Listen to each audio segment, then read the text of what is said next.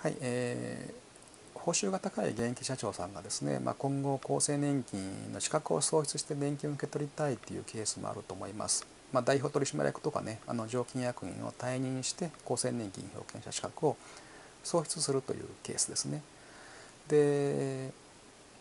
うんとよくある誤解としてはこれあのもう完全にねあの仕事を辞めてしまうというケースだったらいいんですけどもそうではなくて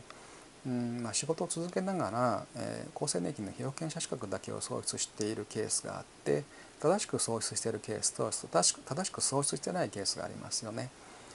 でよくある誤解としては役員さんの厚生年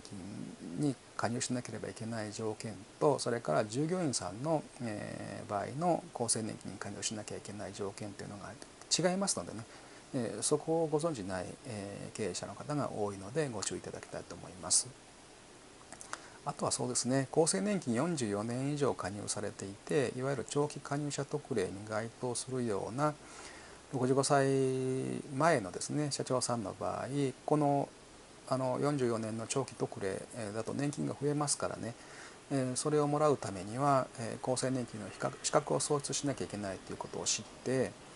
うーんまああの創出しようというふうに考えるケースが多いようですけどもね。あの実際に喪失している必要があの創出すべき要件に該当している必要がありますのでねあの十分ご注意いただきたいと思います。